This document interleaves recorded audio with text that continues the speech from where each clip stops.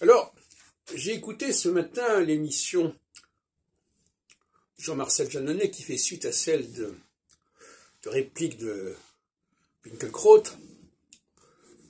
Et dans les deux cas, on avait affaire à des questions euh, historiques. Euh, avec Jean-Marcel Jeannonnet, c'était la question du règne de Louis XIV. Avec euh, c'était la question de Pétain et de la question des Juifs, comment les Juifs ont été traités pendant l'occupation euh, sous le régime de Vichy, etc. Et je dirais simplement la chose suivante. Alors, ce qui est amusant, il y avait quand même des gens comme Ben Toussaint qui étaient là, etc. Et alors on entend, je crois que c'est lui qui dit, l'histoire ne peut pas prévoir. Écoutez, alors là, franchement, euh, je crois que le grand problème de l'histoire, c'est que d'un côté, elle ne peut pas ou elle ne peut pas prévoir, d'autre part, elle ne peut pas non plus véritablement euh, revenir très en amont, au-delà des documents euh, euh, factuels qui lui sont fournis, qui lui sont transmis.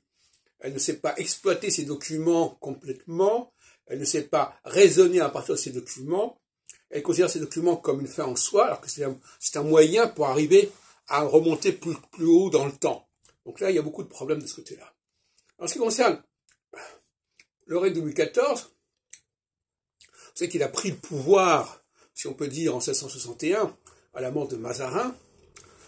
Et la question qui se pose, effectivement, au niveau astrologique, euh, c'est de savoir euh, dans quelle configuration astrologique et de période euh, ça se situait.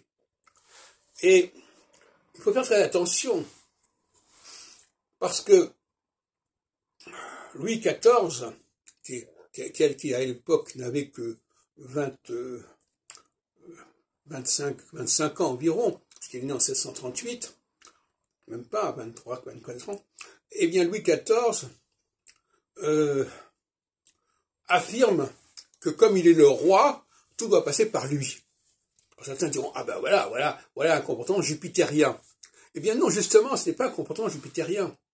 C'est un comportement, euh, pas un comportement solsticial, c'est un comportement équinoxial. Donc on peut, discuter de ces questions. Pourquoi c'est un comportement équinoxial? Parce que euh, dit, voilà, objectivement, je suis le roi, donc je dois faire ceci et je peux faire cela. Ça, c'est un comportement factuel, objectif. Le comportement solsticial, lui, est beaucoup plus subtil que cela. Il s'agit d'exercer un pouvoir euh, qui englobe l'ensemble de, la communauté, qui prenne en compte l'ensemble de la communauté dans sa diversité, dans sa complexité. Donc, euh, il ne faut pas se précipiter sur des conclusions de ce genre.